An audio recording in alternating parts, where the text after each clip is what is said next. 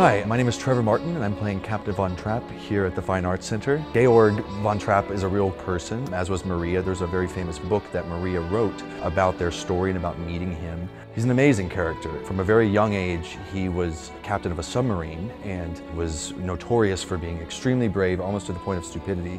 So four years before this show starts, his wife died and he's been living in grief. I mean, he's broken up about it. They talk about how he leaves the house all the time because whenever he's with the kids, the kids remind him of his wife.